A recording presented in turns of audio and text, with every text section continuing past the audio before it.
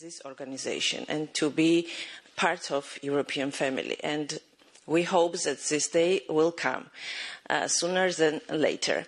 Uh, can you tell us uh, about time frame? Uh, uh, we uh, just heard these conditions for Georgia.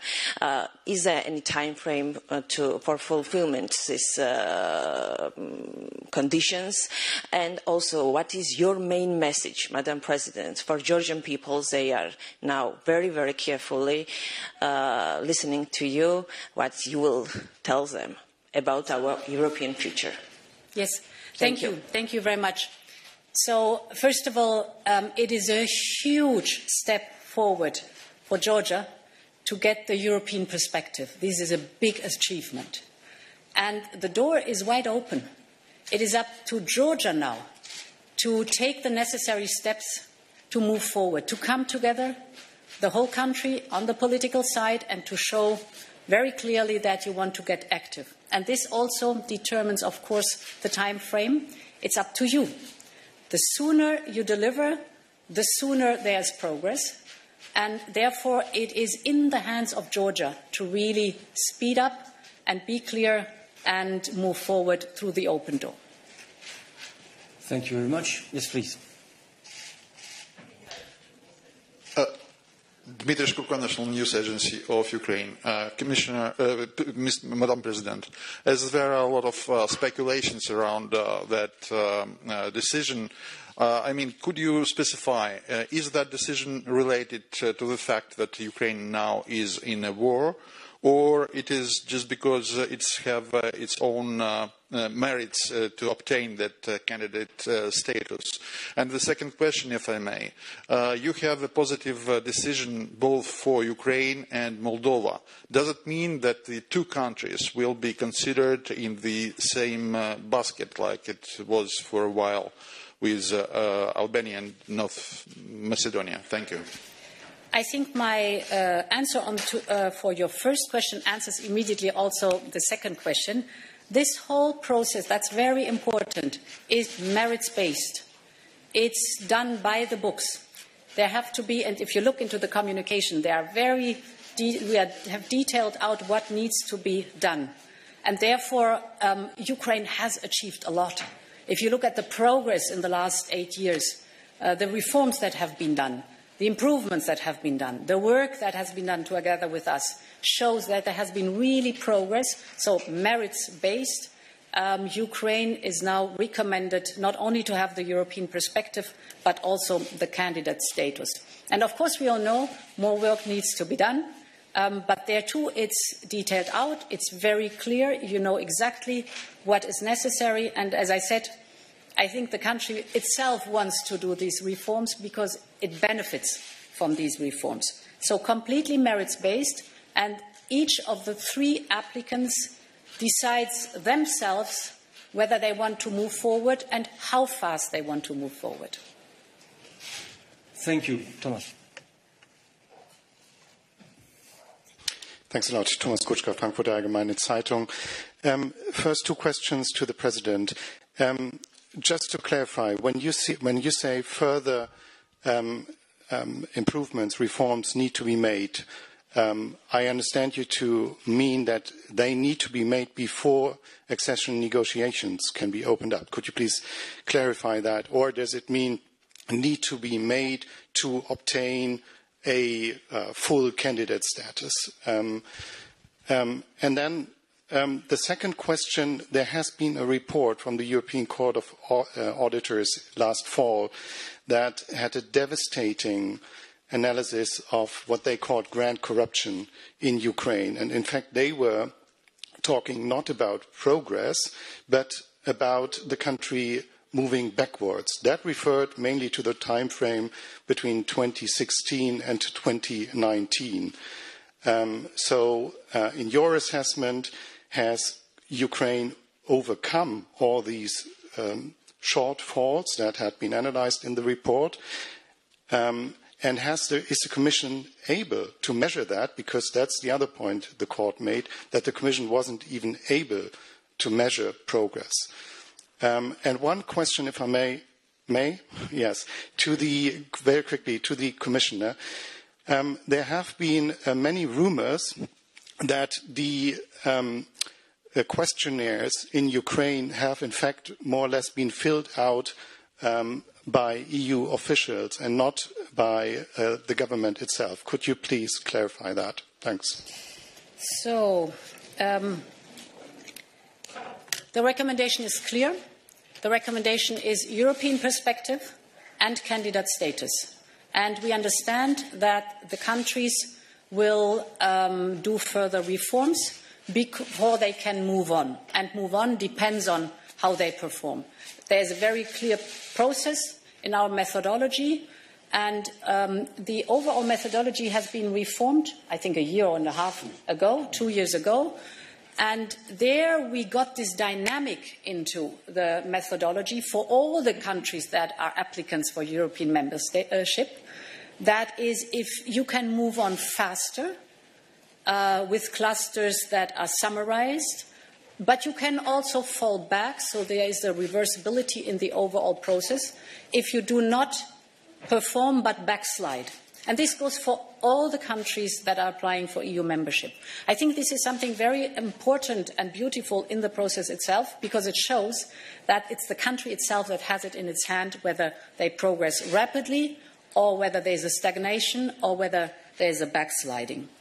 Um, on the topic of uh, corruption, it is a topic, it is an issue. We've always been working on it. And indeed, um, the, the, people of Ukraine elected their government uh, just because they wanted the fight against corruption. We have, of course, seen that over time, and mainly in the last years, there was progress in fighting cor corruption. If you look, for example, at Inter um, Transparency International over the next six years, yes, Ukraine is starting from a low level. But what is important is the trajectory and the trajectory is positive. So they are gaining ground on find, fight, fighting corruption. That is important. You see also that indeed there was a dip in 2019, but then they progressed again. And you have other countries that in this, um, in, in this table are backsliding and are losing ground on corruption.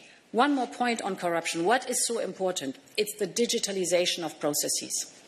Because the, the less you have person to person uh, contacts, but the, and the more you have digitized, the better you can fight corruption. And we have discussed that intensively. When I was in Kiev with President Zelensky and uh, Prime Minister Shmihal, Prime Minister Shmihal has very interesting, far-reaching plans what the digitalization of the country and the processes are concerned. So um, there's awareness of the issue, and there should be and is awareness of the issue, but there's also intensive work to, uh, uh, that is being done. And this is just a criterion where you have to improve. Yes, uh, on the questionnaires. Uh, all the questionnaires have been Am văzut Comisia Europeană în acest moment pe Ursula von der Leyen care sprijină statutul de candidat al Ucrainei la Uniunea Europeană. Comisia Executivă a Uniunii a recomandat ca Ucraina și vecina noastră, Moldova, să fie desemnate candidate la aderarea la Uniunea Europeană. Anunțul președintelui uh, Ursula von der Leyen a venit la o zi după ce cei mai puternici lideri ai blocului au vizitat Kievul în semn de susținere. Dezbat subiectul în continuare cu Sorina Matei, editor al News. Sorina, ce înseamnă acest statut de candidat la Uniunea Europeană pentru Ucraina și Republica Moldova?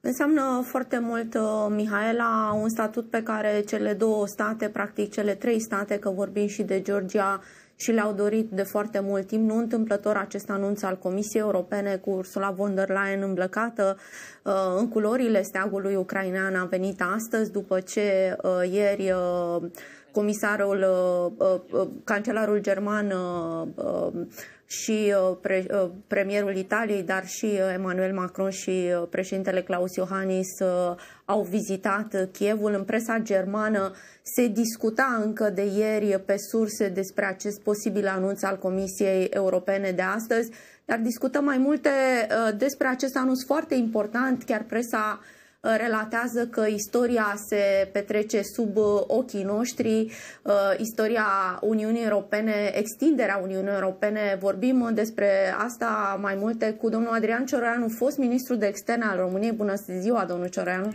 Bună ziua, bună ziua! Într-adevăr, istoria se, se scrie și se rescrie sub ochii noștri. Da, vorbea Ursula von der Leyen îmbrăcată uh, chiar în culorile steagului uh, Ucrainei despre uh, condiționalitățile pe care trebuie să le îndeplinească atât Ucraina cât și Republica Moldova de acum înainte. Mai sunt state cu statut de candidat la aderare și nu uităm cazul Turciei, dar cum vedeți acest anunț după vizita de ieri a celor trei lideri europeni, Italia, Franța, România, practic, sunt patru, și, și Germania la Kiev? E adevărat, lucrurile sunt legate, inclusiv vizitele de ieri, această etapă de astăzi, și mai este o etapă la summitul Uniunii Europene care va avea loc la peste o săptămână, uh, joia și vinerea viitoare. Se întâlnesc liderii statelor din Uniunea Europeană și, uh, în opinia mea, vor uh, cauționa și dânsii această decizie de astăzi a Comisiei. E un pas important, dar în același timp trebuie să spunem foarte limpede că vor urma ani, ani de negocieri. Cazul pe care l-ați dat cel al Turciei, sigur că într-un fel este excepțional, ține de un anumit context, dar uh, și în cazul uh, țărilor uh, de astăzi, Ucraina și Republica Moldova, bineînțeles, Georgia, dar vor fi ani de negocieri pentru că e vorba de reformarea unor state. Noi am trecut prin așa ceva și știm că e o, e o întreprindere cronofagă. Am avut și noi, am fost în această situație, țară cu statut de candidat la aderarea în Uniunea Europeană. Românii au dorit foarte mult, uh, după anii 90, să adere la Uniunea Europeană, să adere la Alianța Nord-Atlantică și poate uh, ne spuneți cât a, cât a durat pentru România până când a devenit uh, membru cu dreptul de pline? Pentru că am avut acele stegulețe, acele condiționalități și Ursula von der Leyen vorbea de problema corupției, da? Uh, o, care este un benchmark, da, ca și reforma justiției, independența justiției, vorbeați de reformele care trebuie să se petreacă în aceste state până când ele vor deveni uh, membre cu drepturi de pline uh, în Uniunea Europeană. Cât durează, cam cât durează acest proces? Nu, este, nu există un, un termen fix. Ține de la țară la țară. În cazul nostru, gândiți-vă cât a trecut de la primele declarații ale președintelui uh, Emil Constantinescu la sfârșitul anilor 90 până în 2007, când acest lucru s-a, s-a materializat, intrarea noastră la 1 ianuarie. Vă vă dați seama că a durat aproape un deceniu. Și uh, asta ține de la țară la țară, de condițiile fiecăreia. Ce face, ce este dispusă să facă Credeți că Ucraina și Republica Moldova, pentru că e important și pentru parcursul uh, european al uh, Republicii Moldova, vedem o, uh, un statut acordat în bloc acestor state care au dificultăți cu Federația Rusă la granițe. Credeți că asta va face mai ușor traseul european al acestor, al acestor state? Și o, le va desprinde cumva de influența Federației Ruse? Asta pe de-o parte.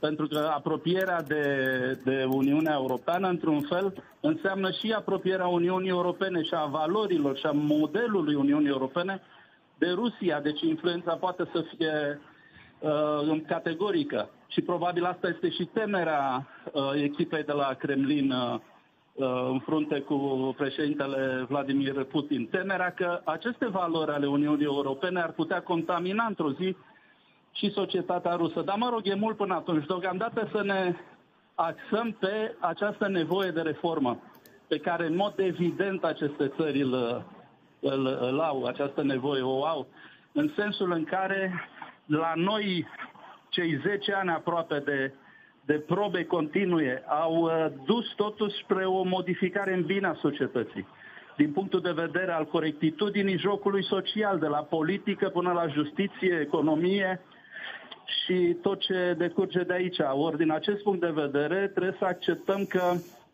realitatea nu ajută în momentul de față nici Ucraina, nici Republica Moldova. Ne putem aștepta la anumite mesaje nu tocmai prietenoase venite dinspre partea uh, Rusiei. Ați văzut ieri declarațiile ministrului de externe Lavrov la adresa gazelor către uh, Republica Moldova, răspunsul doamnei președinte a Republicii Moldova, Ucraina, ce să mai vorbim, e o, e o stare de război în curs. Păi de asta vreau să-l vă și întreb. Vă rog. Vreau să vă și întreb care credeți că va fi uh, reacția Federației Ruse. Federația Rusă nu s-a opus vehement aderării Ucrainei la Uniunea Europeană, nici acordării acestui statut de candidat. Uh, Federația Rusă și Vladimir Putin s-au opus în ceea ce privește aderarea uh, Ucrainei la uh, Alianța Nord-Atlantică și un uh, parcurs... Și da uh, și nu. Și da și nu, nu s-au opus în vorbe. Exact. Dar să știți că povestea cu Ucraina, de fapt, aduceți-vă aminte, în decembrie 2013 a plecat de la Uniunea Europeană. Exact. Era vorba de semnarea Maidan, unor acorduri da, da, da. între uh, Ucraina, președintele de atunci al Ucrainei și Uniunea Europeană, iar uh, Rusia a făcut presiuni ca acele acorduri să nu fie semnate. Și așa a început Euromaidanul. Oamenii au ieșit în stradă în, în Ucraina pentru acordurile cu Uniunea Europeană, nu pentru NATO atunci. Deci uh, Rusia nu are niciun motiv să sprijine această aderare la Uniunea Europeană, chiar dacă declarativ ea este împotriva apropierii Ucrainei de, de NATO. Dar o să vedeți că, în definitiv, uh, anumite reacții vor exista. Deja există după vizita de ieri, uh, care a avut loc la Kiev, a celor patru lideri. Uh, Ați văzut povestea cu gazul rusesc, care s-ar putea să nu mai curgă pe Nord Stream 1, pe acel uriaș gazoduct, uh, primul dintre ele. Franța anunța astăzi că practic nu mai primește gaze. Da, da, da. Germania cere populației să economisească kilovați-oră. Deci uh, Rusia deja reacționează. Ca Vă să nu mai mulțumesc. vorbim, iertați-mă, ca să nu mai vorbim de replica destul de discutabilă de era a domnului uh, Medvedev, referitoare la mara- macaronar, la cei care mănâncă broaște și, și așa la mai departe. faptul dacă Ucraina va mai exista peste, peste 2 ani. Vă mulțumesc foarte mult, uh, domnule, Cu mare plăcere, o zi bună. domnule Cioreanu. Așadar, uh, o veste foarte importantă luată data astăzi de Comisia Europeană în ceea ce privește aderarea la Uniunea Europeană a Ucrainei și a Republicii Moldova.